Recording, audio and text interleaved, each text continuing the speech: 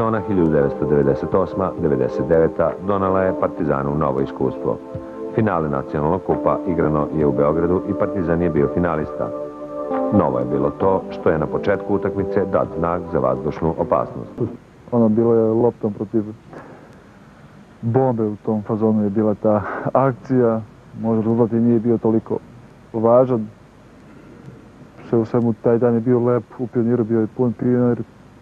Mi smo osvojili taj kup, osjećaj zapamćen zato što je dobio naziv ratni kup. Bombardovanje je bilo u toku. Partizan je osvojio svoj šesti kup. Kup koji će ostati upamćen